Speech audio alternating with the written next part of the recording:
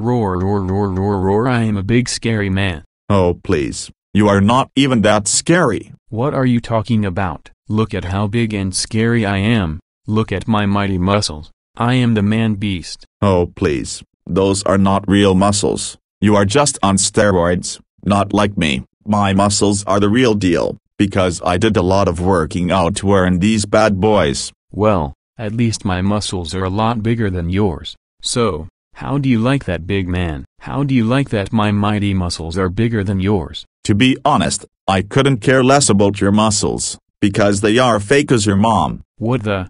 Did you just call my mom fake? Yes, yes I did, and what are you going to do about it, Mr. Steroids? Oh, oh, oh, oh, oh, oh, oh, oh, oh, oh. Ah ha ha ha ha ha ha ha ha is that all you got? You are so lame this you know that. Your fake muscles do not intimidate me whatsoever so you might as well give up. Shut your mouth. I am going to teach you for insulting my mama. No one insults my mama and gets away with it. Well I just did, so you can suck it up my sweet little buttercup who takes steroids to make himself look big and tough with his fake muscles. Shut up.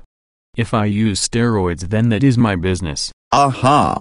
So you admit that you use steroids? Ha, I knew it. Your muscles are fake as, you are a fraud, a big fake fraud, and so is your mama. No one insults me, my muscles, or my mama, no one.